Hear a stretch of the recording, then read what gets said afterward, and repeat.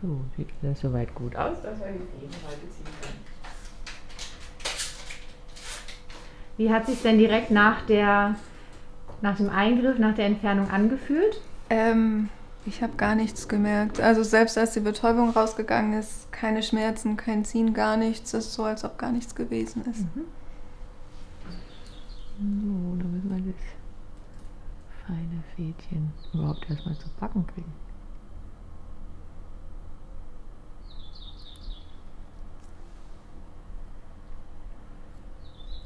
Das spüren sie wahrscheinlich auch nicht, ne? Mhm. Sieht mir an den Haaren.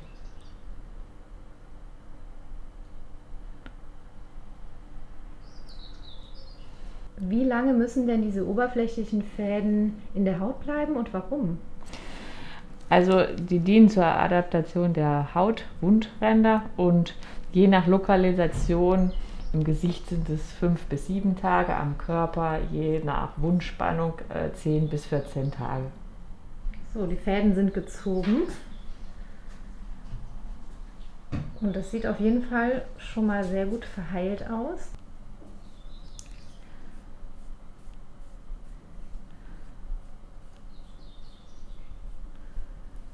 Jetzt sieht man noch so ein bisschen, drückt sich der Faden noch ein. Das hebt sich aber alles wieder und auch die kleinen ähm, Stellen sozusagen, wo der Faden durch die Haut durchstößt, das verschließt sich so innerhalb der nächsten Stunde und dann sieht man immer weniger. Dann Lichtschutz oder erst, wenn es komplett geheilt ist? Lichtschutz macht man eigentlich ab sofort, Mhm. ja, wenn man jetzt rausgeht. Dann entweder ein kleines Pflaster oder halt normalen Lichtschutzfaktor 50. Mhm. Ja. So, jetzt dürfen Sie das erste Mal schauen, wie es aussieht, ohne das Hautmal. Sehr schön.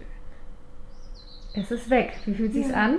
Sehr schön. Ich bin total begeistert. Ich hätte gar nicht so lange warten müssen. ja. Sehr schön.